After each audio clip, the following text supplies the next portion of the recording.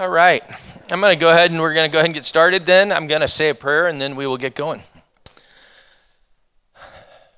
Father in heaven, we just um, we come to you and, and your name is hallowed. You're to be revered, to be glorified, to be honored, and uh, you're the king of the universe, and, and you you know no boundaries, no limits. Um, nothing is too difficult for you. Um, your, your power is more than we could even begin to fathom. And yet, Father, your love is so deep. You care about what's going on here tonight among all of us in our lives at every single moment. Um, so much so that uh, Jesus said our hairs are numbered. And so, Father, we thank you for your love. We thank you for the cross where, where John is taking us and where he's leading us in this gospel. And, and Father, I just pray that you give us eyes to see, give us ears to hear, uh, that we, we start to discern and understand more and more of who Jesus is, and that we fall in love with him more, and he's the center of our life, and, and that we surrender our lives and take up our cross and follow him. And so we're just thankful for your word, and um, just help us tonight to understand more and more in Jesus' name. Amen. So awesome. You know, just going through it, it, it is. Scripture is just amazing, is it not? I mean, when you read through it and when you take time to actually meditate upon it, think about it. I've been going through, I memorized the Sermon on the Mount. Um, I don't know, five, six, seven years ago. And then, you know, when you don't repeat it over and over again, you end up forgetting it. So I thought that I was just going to go back now and, and refresh and memorize it again. And I've, so I, now I've got chapter five memorized and still have the six and seven, but it comes back pretty quick when, when you've already done it before. If you know, I, I, could write it out for you, but you're putting me on the spot, and I'd choke right now. But blessed are the poor in spirit, for theirs. I could give you the beatitudes real quick, but we won't take the time. But, um, but um, it's just you know it's funny how when you when you are in god's word when you're meditating on it when you're memorizing it when you're just thinking of it living in it applying it how often the things that you're studying comes up and how god just uses it over and over and over again. So i, I would say that sure we should grow in our knowledge uh, of it and, and our understanding of it. But even when we just start with little pieces, it's amazing how much God starts to do and, and use through that. So I know the Gospel of John, I've just kind of been amazed. And um, as we go through it, in, in chapter 11, we'll just start here with page one. But chapter 11 um, begins with the disciples warning Jesus. He, Jesus says, okay, let's head back to Jerusalem. Let's head back to Judea. And the disciples say, you know, the, the, the religious leaders wanted to stone you. Why are you wanting to head back there? And um, so we're starting to see where John is taking us. So this chapter 11 starts off with the disciples warning Jesus not to go back to Judea. And then it ends with the high priest declaring that, that one man must die for the people. And we'll talk a little bit more about that later, but prophetic words that he didn't even know he was uttering, what he meant by that. And, and so it's just, we're, we're now starting to turn the corner a little bit and heading for home, um, leading to the cross. And, you know, as I was going through it, John wrote Revelation as well. And I think it's in Revelation chapter 5 where it talks about who's worthy to, to, to open the scroll, to unlock the scroll. And basically, what, what, the, what John was asking as he's been taken kind of in this vision to heaven is, is saying, Who is worthy to fulfill God's plan? Who is the one that can act, you know, his judgment and his, his salvation plan? And, and he's crying because there's no one's worthy. And it says, The lion of Judah. And then when John turns around, he doesn't just see the lion, he sees a lamb. And I think that's where John is taking us, where Jesus is the lion of Judah. And he's strong and courageous and powerful, but, but he came as a king and as the master of the universe in a way that nobody would have ever thought. That lion is the lamb and we're going to see how now you know through all these passover references all these different things where where jesus is is the lamb of god who takes away the sin of the world just like john the baptist said so pretty cool so i want to read there john chapter 11 verses 3 to 7. It says, So the sisters sent word to Jesus, Lord, the one you love is sick. When he heard this, Jesus said, The sickness will not end in death. No, it is for God's glory, so that God's Son may be glorified through it. Now, Jesus loved Martha and her sister and Lazarus. So when he heard that Lazarus was sick, he stayed where he was two more days. And then he said to his disciples, Let us go back to Judea. And, and when you read that, that doesn't make much sense at first, does it? When he says he loved them, so he stayed two more days that's kind of upside down here. You're thinking if you loved him, then head out there real quick or just say the word like you've done before and, and he would be healed. But it says because he loved them. He stayed two more days. I think he had something even more important for these people um, to know and to see, even than just the healing of Lazarus. And, and again, I think that these, that these miracles that we've seen, I think this is all building. It's kind of coming to a climax. I mean, you can almost feel the tension rising and the suspense rising as he gets ready to call Lazarus out from the grave. So, um, again, doesn't make sense. But, but also, it says that he waited for two days. And, you know, I, I read reading one scholar as we were studying up on it, and he said Jesus more than likely took those two days um, in prayer. You know, sometimes I think we, we, you know, Jesus is fully human. Jesus is also fully God, but um, I, I, think sometimes we almost picture Jesus as playing the God card more often than maybe what he did. And, and this scholar was talking about him probably taking two days immersed in prayer, praying for Lazarus, praying, that guy said, praying that the body wouldn't stink because they said he was in the grave four days. When they rolled away the stone, it, it, didn't smell, it didn't stink. But also probably praying for what he knew was to come place shortly. That this was pointing to the resurrection of Lazarus was pointing to, you know, his own resurrection, his own death. So um, kind of cool. But um, Romans eight twenty eight again in this situation. Here's Lazarus sick, dying. You could picture his sisters thinking, There's no way anything good can come from this. As a matter of fact, you screwed up, Jesus. If you had, if you had been here, this wouldn't have happened. And yet we read in Romans 8 28, we know that, God, that in all things God works for the good of those who love him and have been called according to his purpose. And I think he's saying that. You're going to see something amazing here. This is for God's glory and God's glory and for, for your benefit. So, John chapter 11, verse 9 and 10, it says, Jesus answered, Are there not 12 hours of daylight? Anyone who walks in the daytime will not stumble, for they see by this world's light. It is when a person walks at night that they stumble, for they have no light. And, and, um, and, I, and I think this is pointing towards, we see it in the life of Jesus. He continues to reference over and over again that he came to do God's work, that he was enlightened by God, that he was dependent upon God, that, that you know, that he was here to do whatever the Father sent him to do. And I think as he says, as we walk in the light, there's a similarity there that we're to, to be totally reliant upon Jesus, to we're, to, we're to be submissive to him, we're to do what he calls us. So we've seen this over and over again in the gospel, and I think it's a pattern that, that we want to follow, that we're to be dependent upon Jesus as he was on the Father. And when we do that, when we follow him, when we're in prayer, we're in communion, when we're in fellowship with him, then I think our life is going to produce more and more the fruit that he offers as we're in concert with what the Holy Spirit's guiding us and directing us to do. So move over to page two. Um, in verses 11 through 14, which where, where Jesus basically says that Lazarus has fallen asleep and he's going to go there. And, and, and we've seen kind of these conversations that Jesus has had a few times so far in John, where he's speaking at one level and the people are hearing on a completely different level because they even respond there, well, if he's asleep, he'll wake up, which is probably what I would have thought as well. I mean, you know, and then Jesus plainly tells them, you know, Lazarus is going to die. But if we look back, remember when Jesus spoke with Nicodemus? Said, You got to be born again. And Nicodemus says, How can you enter a womb a second time? When he goes to the woman at the well and he says, If you had asked me for water, you know, you would have never thirsted again. And she says, Well, give me this water. Who wouldn't want that? And, and, um, and the bread of life dialogue where the people had to be thinking, Is, is this man a cannibal? I mean, what's going on? And to where Jesus is speaking of spiritual things and, and these people aren't quite grasping. And then Jesus has to go maybe a little deeper, talk more plainly um, for people. So maybe we can pray that we have spiritual eyes to kind of see and to hear what we say. In verse 16, in, in this blunt, honest way, kind of Thomas is kind of a Debbie Downer a little bit. He says, "Well, I guess we'll go back to Judea and die with you as well." I mean, that's that's where we're heading.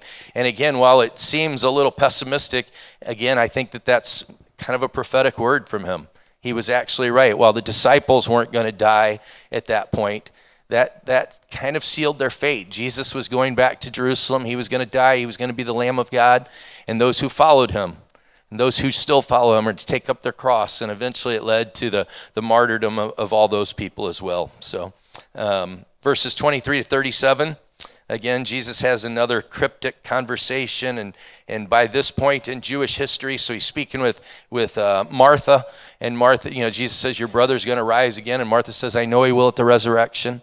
So by this time, the Jews had come to believe in a resurrection. Most of the Jews believed in it, but even here at this point, Jesus says, No, just, just wait a minute. There's going to be that day coming, but even right now, your brother's going to be raised, you know, raised to life. So, um, John chapter 11, verses 25 to 27.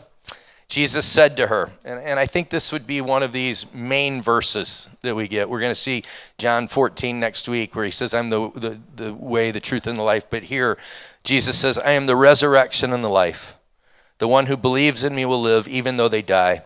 And whoever lives by believing in me will never die. Do you believe this? Yes, Lord, she replied.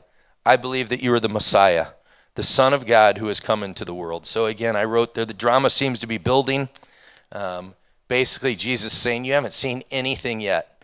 And, and think of that. I mean, we, we've seen where he spoke to Nathaniel and, and saw Nathaniel while he was under the fig tree. We've seen him turn water into wine now. We've seen him clearing out the temple. We've seen him um, speak to the woman at the well and tell her about her past. We've, we've seen, seen him healing the government official's son, healing the lame man at the pool of Bethesda. He's fed 5,000 men, not including women and children. He's walked on water. He's healed a blind man. He's saying, I am the one and you haven't begun to see all the things that I'm going to do or that I can do. And, and John even declares that later on. He said, I've, I've just chosen certain things to, to speak about Jesus. If I had written down everything that he's done, he says, I suppose the whole world couldn't contain those books. But he says, I, you know, Jesus is saying, I, I am God. I am. And he's going to even do greater things. And raising Lazarus from the dead is, is kind of at the top of that list that's coming. I mean, again, I think this, this wave is building. And then eventually we're going to see the greatest thing is when Jesus willingly gave up his life only to take it back again.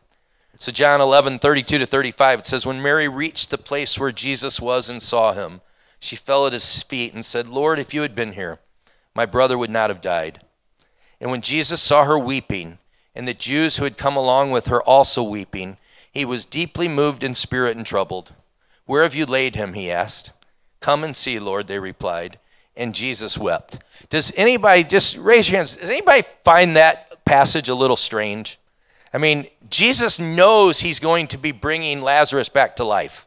If I was the one, if, if, if I had that power and someone close to me's family was with me and, and they're, you know, basically saying, Herc, if you had been here, he wouldn't have died. And, and I knew what I was doing, I don't think I would be weeping. I think I would be so excited, almost jumping up and down, saying, just wait, you can't, you, you won't even believe what you're going to see. I wouldn't be sad because I would know that in just a moment, like if I went to a funeral and a person was in a coffin and I knew that I was going to be bringing them back to life, I personally wouldn't be sad. I'd be fired up and excited and thinking, you're crying now, but just stop. You don't have to. So, what do you think's going on here? I mean, you know, did, did, it says that he was troubled, that he was weeping. And, and um, you know, I've heard a few different things on that. One, I, I think obviously the people around them were crying. And I think that impacted Jesus. Would, would we probably all agree with that? He was a compassionate individual. He was, um, I mean, yeah, he's mourning with those who mourn. But again, in my own mind, which I, I know I'm wrong here, but in my own mind, I'm thinking, I, I wouldn't be crying with these people. I'd be saying, just just wait, you know. But I but I think that shows him, you know. Also, we're kind of told here real soon that Jesus knows what's coming for him. And and I think that's starting to hit him. Again, we we have this tension of Jesus being fully God but being fully human at the same time. So he knows his time is near. I think this, this, these passages all start to make sense a little bit earlier in the Gospels when he would kind of be on the lowdown, say, don't go telling anybody, you know, and, and great crowds are following, and, and because it wasn't the time.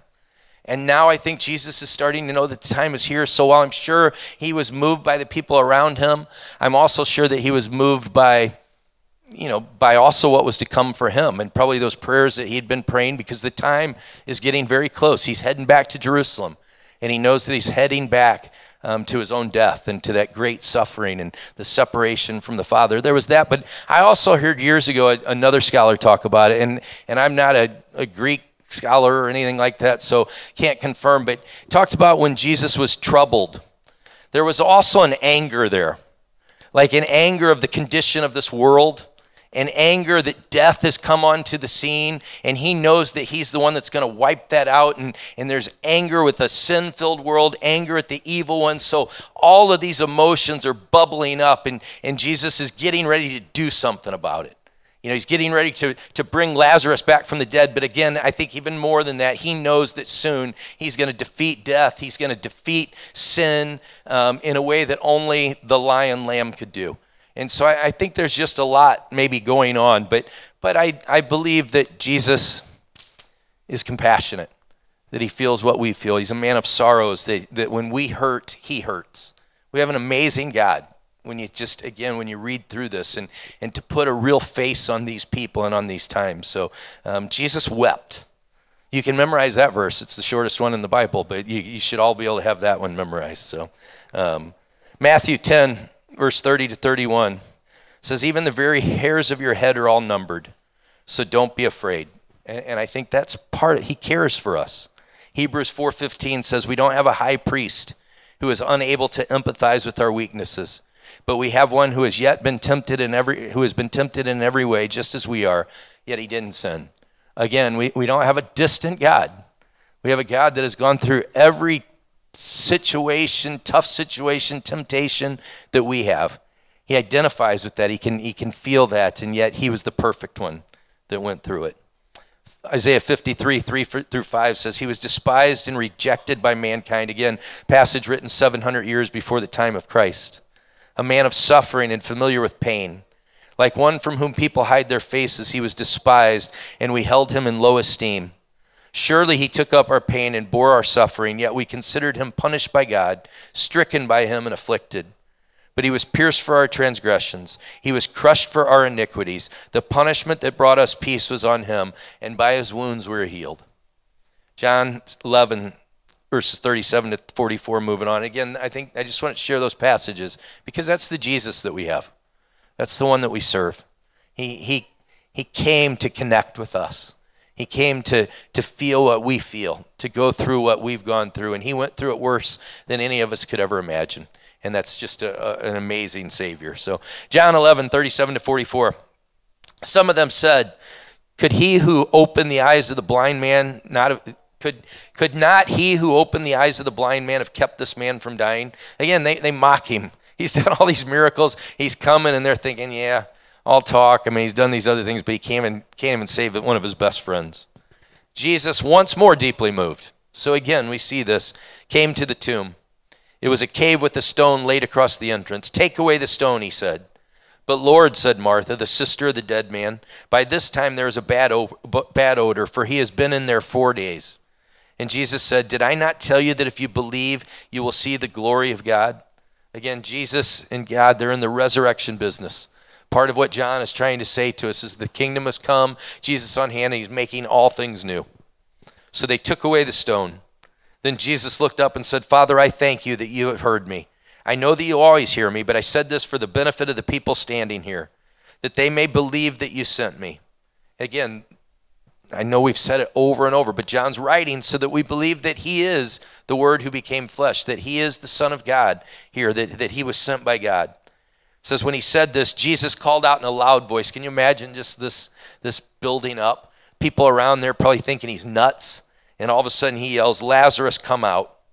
And the dead man came out his hands and feet were wrapped with strips of linen and a cloth around his face. And Jesus said to them, Take off the grave clothes and let him go. I, I laughed when I read that. Isn't that kind of funny? like you can almost picture come out and, you know, and these, you know, and just almost like, I wonder if it, I wonder, it'll be, uh, we'll have to ask Lazarus when we see him in, in heaven one day, where, what, what went on during those four days when you were dead? Like, were, were you dead? I mean, Jesus said you were sleeping. I know you were dead because you've been brought back to life, but like, do you have a memory? Did you go to heaven? Were you just in a, what, what was that? But I thought it was kind of funny that almost like a zombie comes walking out. And Jesus says, take the clothes off of him and, and go your own way. And could you imagine the people that had said up there earlier in verse 15, those ones that said, oh, who is this guy? I mean, he saved other people. He can't even, make, you know, help the blind man. Can't, can't do this. The shame that maybe they felt or maybe what we've seen throughout John is that we really sometimes have hard hearts. And people even won't believe if somebody comes back from the dead. And those are the words of Jesus. So, again, I think we should pray for ourselves and for the people that we love and know and people that are far away from God that somehow God softens their hearts. John 11, 48 to 53 says this If we let him go on like this, these are the religious leaders talking now, everyone will believe in him And then the Romans will come and take away both our temple and our nation.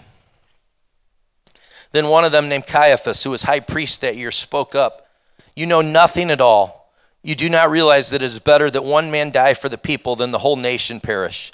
He did not say this on his own, but as high priest that year, he prophesied that Jesus would die for the Jewish nation. And not only for that nation, but also for the scattered children of God, to bring them together and to make them one. So from that day on, they plotted to take his life. And just wrote down a few things, you know, that, that um, it's real easy, I think. Um, this is something new. Jesus is coming onto the scene. He's got the fulfillment of the Old Testament. He's saying, I'm making all things new. And yet these religious leaders were afraid that their way of life was going to be gone. They valued comfort, they valued safety, their own, their own prosperity, their own money. They couldn't even open their eyes enough to this amazing message of Jesus. And, and so they're, they're afraid, I, I think for a few reasons. They're afraid that Rome is going to come. And here's Jesus talking of a new kingdom. Again, they didn't understand the kind of kingdom that he was speaking about, but he's talking about a new kingdom, and they knew that, that Rome didn't want to hear anything about a new kingdom. Rome was the kingdom. Rome was the one in charge. And so these religious leaders were afraid that if, if Jesus continued healing people, people were going to follow him. And they were afraid basically of this. I, I, think many of them were afraid of this revolution that would take place. And, and they were afraid that Rome would be upset and, and, and come down and take away their religion, take away their prosperity, take away their freedom, uh, the limited freedom that they had. And, and, um, and we know that just a few years later in 70 AD, that actually happened, where Jerusalem was, was razed when the temple was torn down. Um, but it's just kind of a sad statement, you know, to think that they cared more about that than, than what was actually taking place in front of them. People being raised from the dead, blind people seeing, water being turned into wine, crazy. So without knowing it, there we're on page um, four, but without knowing it, Thomas had spoke words that were prophetic when he said, let's go to Jerusalem and die.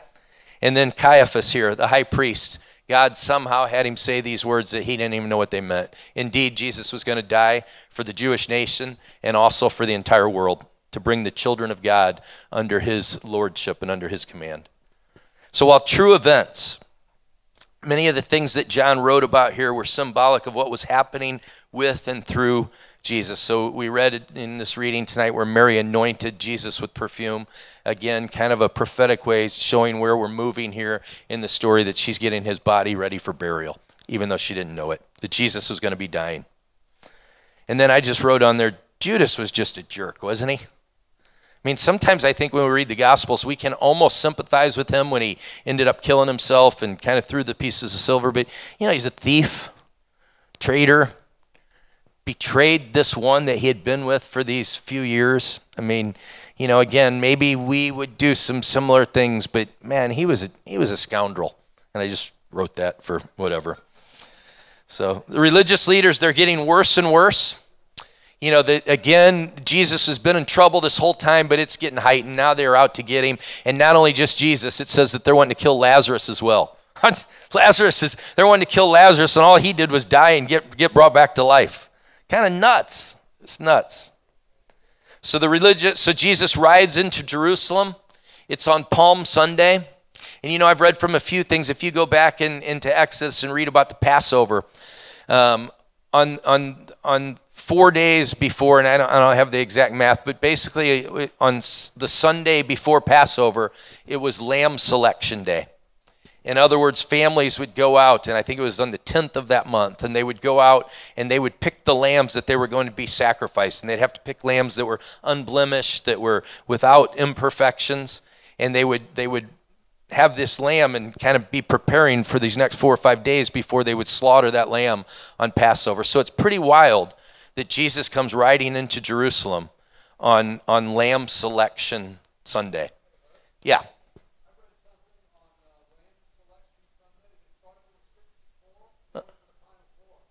Oh, there, there you go.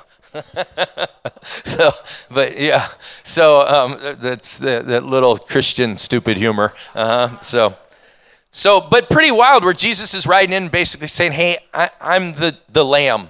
Pick me, choose me." And we know that on that day, as he's riding in, people are waving palm branches. They're yelling Hosanna, which means save us. And, and, and this king riding on a colt that was prophesied way back in Zechariah chapter 9 Um, and, and they're, I think, you know, probably into the lion part of this. Again, I think they're saying all this because Jesus now has even raised people from the dead. Surely he's the one that's going to overthrow Rome. Surely the one he is going to, he is the Messiah, the long awaited king. And now we are going to be restored to our glory days like King David. We're going to go in and kick butt now. And again, they missed it. You know, as a matter of fact, we, we read in other gospels where Jesus wept over Jerusalem and said, you know, you just don't get it. You've missed my whole message. You've missed my whole point. Palm branches, while we, we wave them on, on Palm Sunday and might think of a thing of peace, this would have actually almost been a sign of insurrection on some of the Jewish coins from the time when they were liberated, going all the way back to, to Hanukkah celebration that we kind of talked about last week. They would have put these palm branches on coins, signifying their freedom. So as they're waving these palm branches and yelling Hosanna, they're not doing it in the way that we think of Jesus as king. They're doing it as this kind of military leader. This is the one that's going to, to overthrow the government. This is the one that's going to restore us and, and bring us back to those days. So um, he's the one, you know. so when they did this, it's obviously Passover, and we know there's great celebration and great remembrance. But they might have also had some some thoughts from when Judas Maccabeus had, had overthrown the the people that had desecrated the temple that we talked about last week. So Luke 19 verses 41 to 44. As he approached Jerusalem and saw the city, he wept over it and said, If you, even you, had only known on this day what would bring you peace, but now it's hidden from your eyes. The days will come upon you when your enemies will build an embankment against you and encircle you and hem you in on every side. They will dash you to the ground, you and the children within your walls. They will not leave one stone on another because you did not recognize the time of God's coming to you. In other words, he said there's going to be great judgment on the nation of Israel in just a few years and God's going to use the Romans to do it, and, and that ended up happening. And Jesus wept over it because he said it didn't have to go this way. You could have seen, you could have looked at the, the law and the prophets and realized that I was the one to fulfill them, that I was the, the lamb who takes away the sin of the world. John chapter 12, verses 20 to 21 on page 5 here, it says, Now there were some Greeks among those who went up to worship at the festival. They came to Philip, who was from Bethsaida in Galilee, with a request. Sir, they said, we would like to see Jesus. And again, I think now is the time. Now we're even seeing Gentiles come and want to see Jesus. And that was always part of the plan. That was always part of the mystery of the gospel was to, to now Gentiles are grafted in grafted into the vine that you know into the nation of israel now people who who follow jesus christ who by faith believe in him are true israelites who are, who are actually the seed of abraham and I think this is starting to come where now this is happening. It's been the plan all along. It's going to be taking place as Jesus dies here soon. John 12, it says, Very truly I tell you, unless a kernel of wheat falls to the ground and dies, it remains only a single seed. But if it dies, it produces many seeds. Anyone who loves their life will lose it, and while, and while anyone who hates their life in this world will keep it for eternal life. And I think the principle that Jesus is saying here, and we know from him, but death brings about life. God did, did this with the cross, and, and He does it with each of us as well. When we fight to save our life, Jesus says we're actually going to lose it. But when we lose our life for Him, when we sacrifice, when, when in the, the waters of baptism symbolizes that we go into the water and we were dead in our sins and trespasses, and now we're brought to newness of life and raised and in a new creation.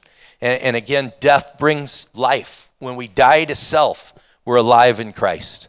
And, and, and to follow Jesus I think is the way of the cross. So um, Jesus, John states that many people don't believe in Jesus because they're blinded with hard hearts. And again, there's a lot of Passover imagery in this. This would remind us of Pharaoh and Exodus and also the Israelites in the history of, of the nation over and over again. Moving on to John 42 and 43, chapter 12, it says, Yet at the same time, many among even the leaders believed in him. But because of the Pharisees, they would not openly acknowledge their faith for fear they would be put out of the synagogue for they loved human praise more than the praise from God. And I just put that's a real sad statement. We saw it with the man who was born blind, his mom and dad, same thing. Go, you know, talk to him. He's of age because they're afraid. And, um, and you know, I, I think that's sad. Hopefully, we're not like that. Hopefully, we're bold and, and, and with, our state, with, our, with our faith in Christ no matter what comes. Jesus is the ultimate judge. Even though he came to save and not condemn, there's a dividing line. And that dividing line is believing in Jesus. Those who believe have eternal life. It's pretty simple. Again, that's why John wrote this, so that we would have eternal life and have life in the name of Christ and live in that. And then the divine lies, you believe, you're saved. You don't believe, you're condemned. And I know we read John 3 16 and 17 a lot, and it's appropriate. For God so loved the world that he gave his one and only Son, that whoever believes in him shall not perish, but have eternal life. For God did not send his Son into the world to condemn the world, but to save the world through him. Whoever believes in him is not condemned, but whoever does not believe stands condemned already because they have not believed in the name of God's one and only Son. So Jesus didn't come to condemn. We're already condemned. He came to save. And, and we're, we're, condemned because of the sin in us. There's a sin problem, and we have to accept the work of Christ to be cleansed from the sin that, that, that, we, that we're slaves to.